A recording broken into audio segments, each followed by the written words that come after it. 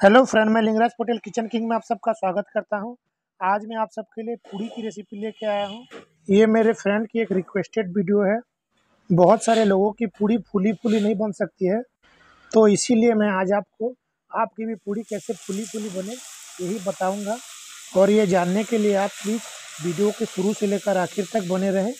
और आज मैं जिस तरह से पूड़ी को बना के रेडी करूँगा, आप भी उसी तरह पूड़ी को बनाएँ तो आपका भी पूड़ी फूली फूली ही बनेगी।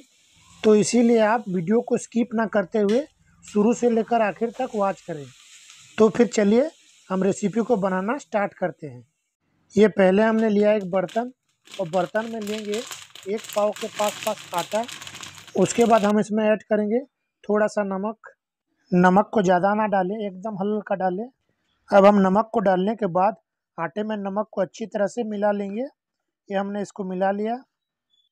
अभी हम इसका बीच में एक कुआँ बनाएँगे और थोड़ा थोड़ा करके इसमें पानी ऐड करेंगे और इसको अच्छी तरह से मिला लेंगे। हमें इसमें एक साथ ज़्यादा पानी ऐड नहीं करना है, इसमें थोड़ा थोड़ा पानी ऐड करना है और इसको अच्छी तरह से मिलाना है। और इसको अच्छी तरह से मिला के इसका एक डो बना के रेडी कर लेंगे। आप इसको जितनी अच्छी तरह से दबा दबा के इसका डो बनाएँगे, ये उतना ही सॉफ्ट बनेगा। ये देखिए दोस्तों, हमारा डो बन के रेडी हो गया है।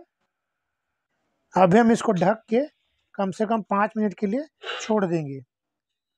आटा को ढक के रखने से क्या होता है? थोड़ा और सॉफ्ट हो जाता है। तो चलिए अब हम इसे खोल के देखते हैं। ये देखिए, हमारा आटा पहले से ज़्यादा सॉफ्ट हो गया है और अच्छी तरह से फूल गया है। आप देख सकते हैं। अब इसका हम छोटा छोटा बॉल बना लेते हैं। हमें ज़्यादा बड़ा बॉल नहीं बनाना है। अगर हम ज़्यादा बड़ा बड़ा बॉल बना लेंगे तो हमारा जो रोटी बनेगा, थोड़ा मोटा मोटा बन जाएगा। और हमारा एक भी पूड़ी फूलेगा नहीं। आप जो बॉल बनाएँगे, एकदम छोटा छोटा बॉल बनाएँ और पूड़ी को पतला पतला करके बेले। मैं आपको बेल के दिखाऊँगा। तो पहले हम लेंगे थोड़ा सा सूखा आटा और उसको बेलन का जो पीड़ा है, उसमें ऐसे लगा देंगे। उसके बाद लेंगे आटा का एक बॉल और उसको ऐसे हल्का सा दबा के उसमें थोड़ा आटा लगा के इसको बेलन से बेल लेंगे। हमें इसको मोटा करके नहीं बेलना है, एकदम पतला करके बेलना है। आप देखते रहिए मैं कैसे बेल रहा हूँ। आप अगर इसको मोटा मोटा करके बेल देंगे तो ये बिल्कुल भी नहीं फूलेगा। ये देखिए, हमने इसको कैसा बेला है, एकदम पतला है, बिल्कुल इसी तरह आपको बेलना है। और ये देखिए, हमने सारा पूड़ी को बेल लिया है। अब तेल भी हमारा गर्म हो गया है। अभी हम एक एक करके पूड़ी को इसमें डाल देंगे। ये हमने पहला पूड़ी को इसमें डाल दिया। आप जब भी पूड़ी को फ्राई करें, गैस को एकदम हाई फ्लो पे रखें और तेल एकदम गर्म होना चाहिए, तभी आपका पूड़ी फूली फूली बनेगी। ये देखिए हमारा पूरी कैसे फूली फूली बनी है, आप देख सकते हैं। चलिए अब हम इसे प्लेट में निकाल लेते हैं। ये देखिए, हमारा पहला पूड़ी बन के रेडी हो गया है।